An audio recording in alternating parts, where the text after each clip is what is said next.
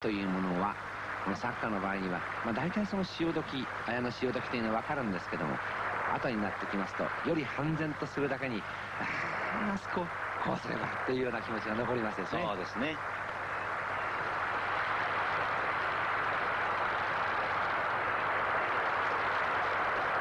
ああこれです。この場面。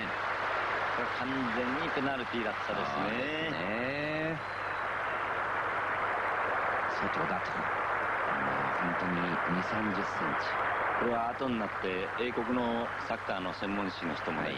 これはペナルティーであったとはい。いう書き方をしてますがね、もう一度見てみましょう。